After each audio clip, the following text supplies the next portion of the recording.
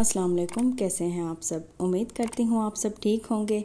आज मैं आपके साथ बीफ नली बिरयानी की रेसिपी शेयर कर रही हूँ।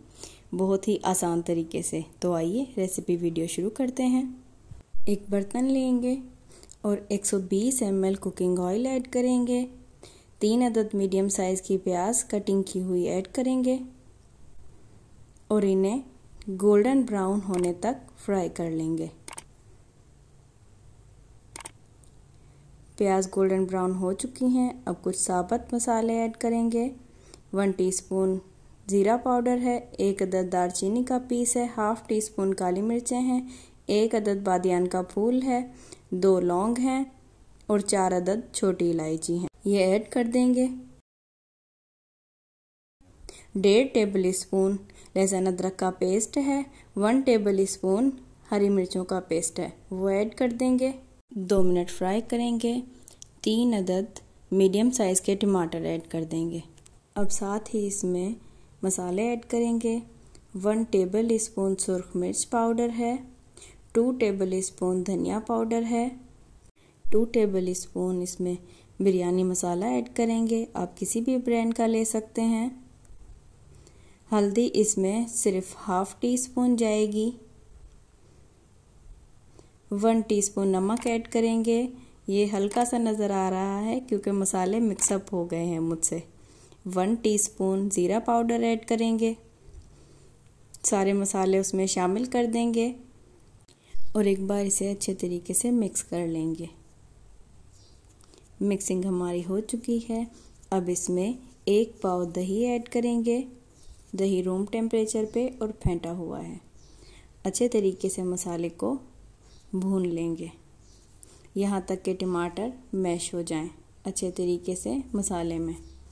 साथ ही हम चावल बॉईल करने के लिए पानी गर्म रख देंगे और उसमें फोर टेबल स्पून नमक है और तीन अदद तेज़ पत्ते हैं, दो अदद बादियान के फूल हैं। ये शामिल करके पानी उबलने के लिए छोड़ देंगे।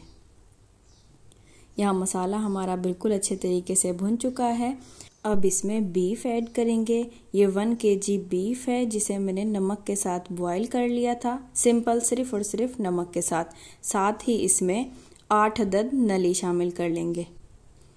दोनों का बॉइलिंग टाइम अलग अलग है, इसलिए आप पहले हड्डियाँ बॉयल कीजिएगा, उसके बाद गोश्त। अब इसे मिक्स करते हुए अच्छे तरीके से पाँच मिनट तक भून लेंगे। मिक्सिंग एहतियात से कीजिएगा। ऑयल का छीटा आप पर ना आए। पानी हमारा उबल चुका है। टू टेबल स्पून इसमें कुकिंग ऑयल शामिल करेंगे। और ये सवा किलो बासमती राइस हैं जो कि 20 मिनट पहले भिगो दिए थे। ऐड कर देंगे। मसाला हमारा अच्छे तरीके से भुन चुका है। अब गोश्त की जो यखनी बची थी वो ऐड कर देंगे। ये दो कप यखनी है। अब इसके साथ इसे अच्छे तरीके से मिक्स करेंगे और पाँच मिनट मज़ीद छोड़ देंगे। मिक्सिंग हो चुकी है। अब इसमें half teaspoon orange food colour add करेंगे। और इसके साथ इसे मिक्स करते हुए पका लेंगे ताकि इवेंटली सब पे कलर एक जैसा आ सके। मिक्सिंग एहतियात से कीजिएगा। ये देखिए मिक्सिंग हमारी हो चुकी है। अब इसे पाँच मिनट के लिए छोड़ देंगे। यहाँ चावल हमारे फिफ्टी परसेंट हो चुके हैं, क्योंकि हमारे पास यखनी है, उसमें हमें पकाना है। चावल छान लेंगे। अब इसमें एक कप जितना पानी रह गया है, इसमें चावल ऐड करेंगे। ये सवा किलो चावल है और एक किलो बोनलेस बीफ था और आठ अदद नली थी। चावल को फैला लेंगे। पचास एम कुकिंग ऑयल ऐड करेंगे।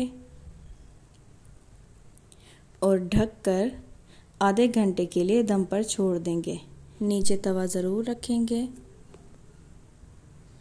आधा घंटे गुजरने के बाद पाँच मिनट के लिए हमने ऐसे ही छोड़ दिया था ताकि स्टीम रिलीज़ हो जाए। और चावल टूटे ना। ऊपर से चावल को एक तरफ़ करेंगे और फिर आपको नीचे से मिक्स करते हुए दिखाते हैं।